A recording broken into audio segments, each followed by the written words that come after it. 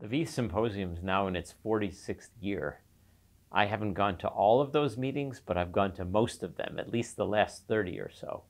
And it really is a place where individuals from all specialties that are involved with cardiovascular disease can come and hear new things and meet people that they may only see once a year, networking, and come to hear topics that they wouldn't hear or read elsewhere.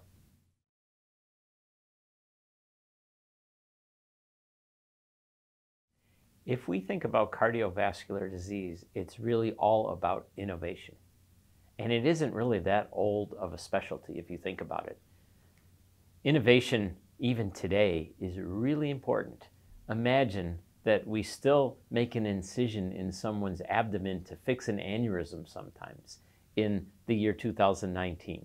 So at this year's VEITH Symposium, we have an alliance with TCT, and it's the VEITH TCT Innovation Summit, where we have a uh, variety of key opinion leaders in the field in eight different uh, sessions, each one hour in length.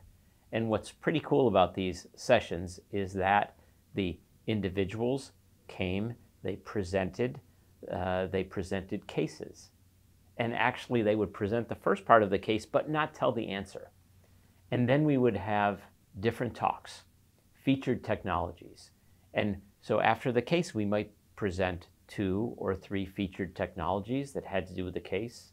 We'd have discussion with panelists that are key opinion leaders from all over the world. And then at the end, come back to the case to see what happened. What happened to that patient? What did they actually do? And how did it go?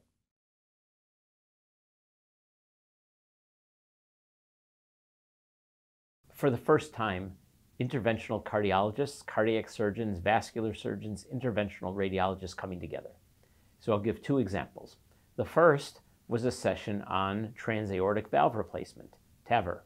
And this is a, uh, an area that vascular surgeons really haven't done very much of.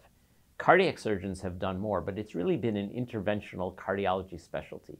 But now we had a session where you had the cardiac surgeon there who could say, what does that aortic valve look like when you opened it up? Because they have done a thousand, let's say, open uh, valve repairs. And you have the interventional cardiologist who may never have seen the inside of a valve since medical school, but they have the uh, cardiac surgeon to talk about it.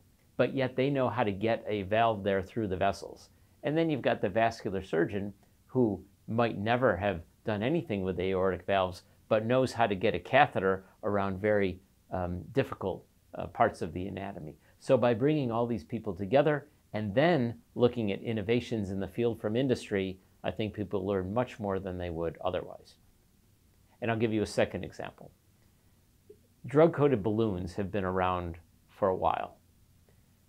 But it was just last year, almost 12 months before the VEITH Symposium this year, where a meta-analysis came out and said, well, drug coated balloons are great for arteries in the leg. They open up vessels better than if you don't have drug on them, but maybe patients are dying more frequently when they have a drug coated balloon. And in fact, Katsanos meta analysis put a scare into everyone because for the first time we had to think there's a signal there. Is that real? It is almost uh, um, unimaginable that a tiny bit of drug that has been used in oncology for years and years and years could cause a problem such as excess mortality two, three, four, and five years after its use. So we're all trying to figure this out. And by bringing everyone together in the Innovation Summit, we were able to get a little bit further than where we were before.